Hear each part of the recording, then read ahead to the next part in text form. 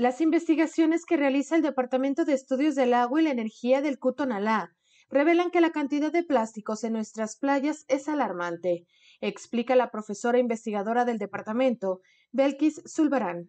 Con estos trabajos que se están realizando, podemos ver o se demuestra que sí existe en, nuestro, en nuestras playas de Jalisco la presencia de estos microplásticos y que su presencia va a ir aumentando si no se hace nada, ¿no?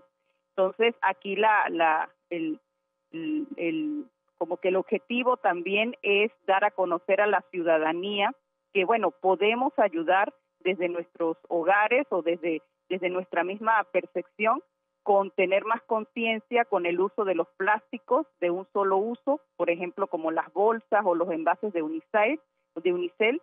También se le puede recomendar a la población que disminuyan el consumo de agua embotellada y de refrescos, ya que esos son los plásticos que más se han encontrado abundantes en las costas de, de, Jalisco. En entrevista con Sonia Serrano, explicó la investigadora que no solamente es un llamado a quienes van o viven en la playa a que disminuyan el uso de esos plásticos, sino para toda la población. Explica. Porque como hay una mala gestión de los residuos, o sea, casi el 80% de esos plásticos que están en la costa se han generado en otro lugar, ¿no?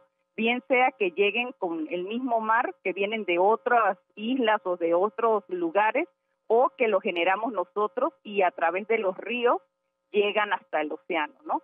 Entonces aquí también es un llamado también de atención a los gobiernos para que realicen, bueno, políticas públicas para atacar esa problemática en cuanto a la limpieza de los ríos, limpiezas de las playas y también un manejo adecuado de los residuos sólidos. Señala que el problema de los microplásticos es que se fracturan todavía más y es más difícil eliminarlos, y mucha fauna animal consume estos plásticos y puede haber una muerte de estos seres vivos, pero el desastre no para ahí. Y otras especies, pues son los peces que nosotros mismos también consumimos, entonces estos plásticos tienen el, el la característica es que se acumulan en, en, el cuerpo de los peces y después nosotros lo consumimos, entonces se va a ir acumulando en nuestro cuerpo también. Se han estado haciendo muchos trabajos en cuanto a, a, la problemática de, bueno, qué efectos va a tener en el ser humano, ¿no?